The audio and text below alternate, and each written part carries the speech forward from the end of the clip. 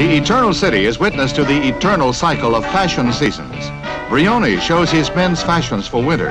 First, a sports suit of orange and yellow wool with a four-button jacket. Noble Romans disdain all jackets. A slim-cut car coat of yellow wolfskin, perfect for furry evenings on the Via Veneto, gazing at topless statues. A bit more formality here in a snug-fitting frock coat, augmented by a jaunty-looking hat with a rakish hat band to add a dash of color.